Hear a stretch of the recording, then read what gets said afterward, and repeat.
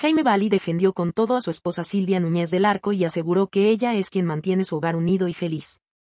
SEO al frente.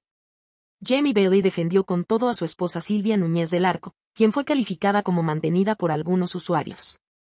El presentador de TV explicó que su pareja y madre de su última hija es la persona que se encarga de todas las tareas del hogar y de la crianza de su hija. Según narró, Silvia Núñez empieza su día muy temprano, ya que tiene que llevar a su hija a estudiar, mientras él duerme hasta la una de la tarde. Yo nunca he llevado a mi hija al colegio, ni una sola mañana.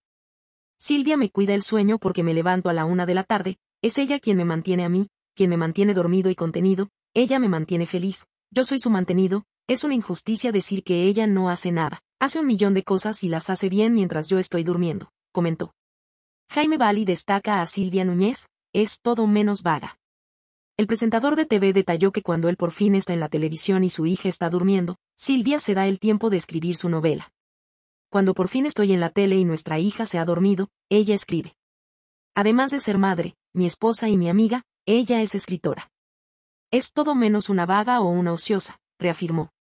Jaime Bali, mi mamá le dice a Silvia, ¿cómo puedes aguantarlo?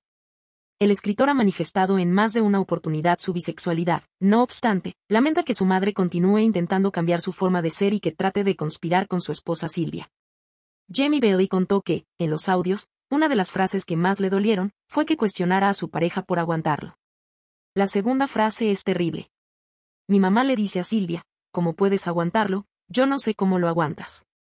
No es que Silvia me aguanta, y tampoco es que yo la aguanto, porque el que aguanta sufre, el que aguanta está tolerando algo fastidioso, manifestó. Me duele que vaya por detrás a mis espaldas y le diga de manera insidiosa a mi esposa, ¿cómo puedes aguantar? Porque le está diciendo, dale un ultimátum, dile que sigue hablando con libertad, con desparpajo, que es un hombre bisexual entonces lo dejas, oblígalo a ser heterosexual al menos en público, sostuvo.